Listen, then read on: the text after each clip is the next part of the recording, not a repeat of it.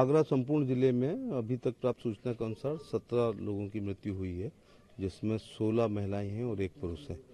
मैं अभी मेरी लोकसभा रहन कला में तीन जगह मैं होकर आया हूँ, और अब एतमादपुर में उसके बाद अभी सिकतरा गाँव और चिरौली उस्मानपुर, अभी तीन गाँव और जाना है, बाकी शहर में है, वो देखेंगे।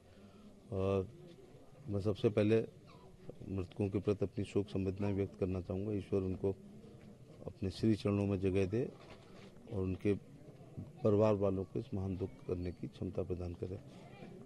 मुख्यमंत्री जी ने आज घटनास्थल का दौरा किया है। प्रधानमंत्री जी के द्वारा ही कल देश को पता चला जब महामहिम राष्ट्रपति के अभिभाषण के धन्यवाद प्रस्ताव पर चर्चा करते हुए उनको, उन्हों को, उन्होंने हाथरस में हुई दुर्घटना की जानकारी दी।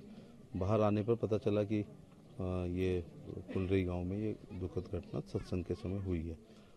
एडिशनल डायरेक्टर जनरल आगरा और सम, अ, हमारे मंडल की आयुक्त ऋतु माहेश्वरी को ये जाँच दी गई है।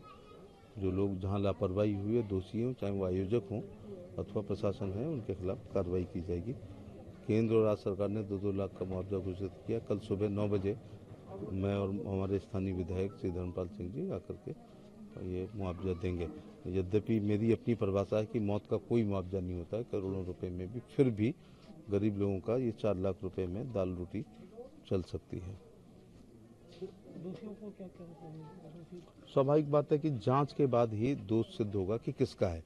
तो इसलिए बड़े रैंक के लोग हैं, एडिशनल डायरेक्टर जनरल, आगरा और मंडल आयुक्त, ये जाँच को करेंगे और बहुत काम, जल्दी जाँच की रिपोर्ट शासन ने मांगी है।